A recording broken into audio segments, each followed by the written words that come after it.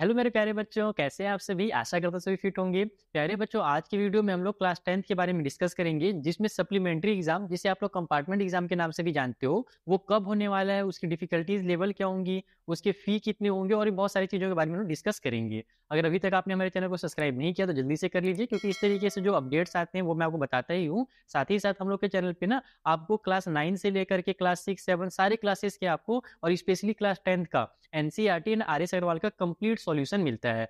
तो इस चैनल को ज़रूर सब्सक्राइब कीजिए और अपने फ्रेंड के साथ भी शेयर कीजिए। चलिए स्टार्ट करते हैं तो सबसे जान, पहले जानते हैं कि कंपार्टमेंट एग्ज़ाम देना किसको होता है? तो वो बच्चे जो फेल हो जाते हैं ना किसी सब्जेक्ट में, उसको हम लोग सप्लीमेंट्री एग्ज़ाम के नाम से जानते हैं और उसको भी कंपार्टमेंट एग्ज़ाम भी कहते हैं।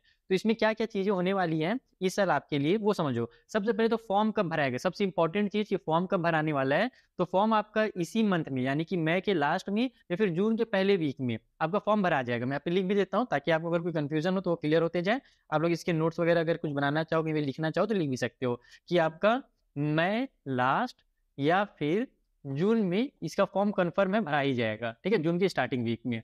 इसका जो चार्ज है वो कितना लगने वाला है आपको? तो चार्ज आपको three hundred rupee per student के हिसाब से लगेगा। यानी per subject sorry three hundred rupee जो होगा, वो आपको पर सब्जेक्ट के हिसाब से देना पड़ेगा। और मैक्सिमम आप लोग दो सब्जेक्ट जानते ही भर सकते हैं।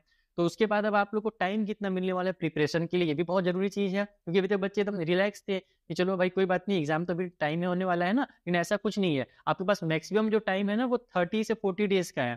थर्टी से फोर्टी डेज़ के बाद आपके एग्ज़ाम देख लेना कन्फर्म हो ही जाएँगे। तो आपके पास थर्टी से फोर्टी डेज़ है, इसीलिए अभी से एकदम प्रिपरेशन के लिए लग जाओ, मन लगा करके।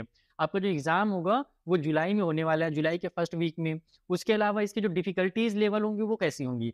तो जैसा आप लोग बोर्ड एग्ज़ाम दिए हो अभी ना तो बोर्ड एग्ज़ाम के जैसे उसमें आपने एग्ज़ाम दिया है, या तो उसके सिमिलर होगा, या फिर उससे थोड़ा सा हल्का ही होगा। यानी कि ज़्यादा मुश्किल नहीं होता। कभी भी जो सप्लीमेंट्री एग्ज़ाम होते हैं, कई बार लोग एकदम डराने के लिए, बच्चों को बोल देते हैं कि नहीं, बहुत टफ होता है, ऐसा वैसा, कुछ नहीं ऐसा वैसा। जो हमारे सप्लीमेंट्री एग्ज़ाम्स होते हैं, या तो वो बोर्ड के लेवल के होंगे, या तो उससे थोड़े से ईजी लेवल के होंगे। तो इसकी आपको फ़िक्र नहीं करनी लेकिन हाँ कंटिन्यू प्रिपरेशन करना आपके पास केवल केवल एक महीने का समय है। तो यहाँ पर हमारा जो डिफिकल्टी लेवल होगा, आपको समझ में आ ही गया कि ज़्यादा मुश्किल नहीं होगा, लो ही होगा और जो रिज़ल्ट होगा वो आपको अगस्त तक मिल जाएगा। तो आई होप आपको जो भी डाउट होंगे आपके मन में सप्लीमेंट्री एग्ज़ाम से रिलेटेड वो आपके क्लियर हो गए होंगे। अगर अभी भी कुछ डाउट है तो आप उसे कमेंट बॉक्स में पूछ सकते हो। मिलेंगे नेक्स्ट वीडियो में, तब तक ये थैंक यू फॉर वॉचिंग